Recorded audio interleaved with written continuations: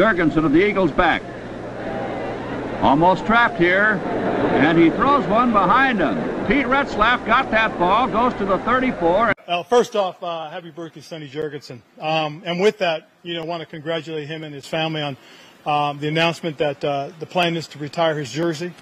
It will be the uh, fourth Washington uh, player's jersey to be retired. Um, you know, Sonny was was a tremendous player for this organization and really brought a lot of great uh, happiness and joy to our fans. And uh, the team is you know, going to honor him with the, the retirement this year. So uh, congratulations to Sonny.